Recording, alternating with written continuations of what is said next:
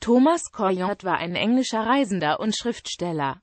Bekannt geworden ist er insbesondere durch seinen zweibändigen Bericht über seine häufig zu Fuß zurückgelegten Reisen durch Europa und Teile Asiens. Nachdem Coyot seine Ausbildung zunächst auf der Westminster School, dann an der Universität Oxford absolviert hatte, arbeitete er für Prinz Heinrich Friedrich den ältesten Sohn von König Jakob I. als eine Art Hofmeister.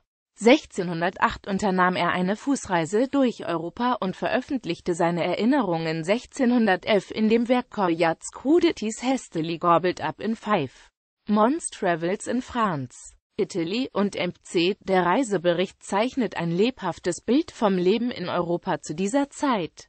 Von Interesse ist er insbesondere auch für Musikhistoriker, gibt er doch Aufschluss über das Wirken der sogenannten venezianischen Schule einer der berühmtesten und fortschrittlichsten Musikrichtungen Europas.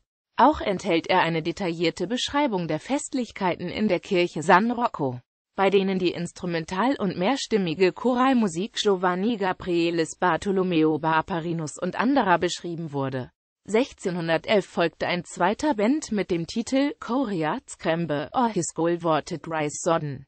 1612 machte sich Koyat erneut auf den Weg, diesmal nach Asien, wobei er Griechenland, das östliche Mittelmeer, Persien und Indien besuchte.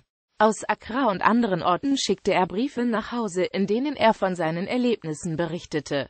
Koyat starb auf Reisen 1617 in Surat. Die Schriften Koryats waren zu seiner Zeit ausgesprochen populär. Seine Beschreibung der in Italien anzutreffenden Sitten und Gebräuche fiel in England wo man zahlreiche Aspekte der italienischen Kultur wie etwa die Madrigalmusik bereits seit Jahrzehnten schätzte, auf fruchtbaren Boden. Coyot gilt als Vater der sogenannten Grand Tour, einer obligatorischen Italienreise für die Söhne des englischen Adels im 18. Jahrhundert. Daneben wird ihm auch die Einführung der Gabel in England zugeschrieben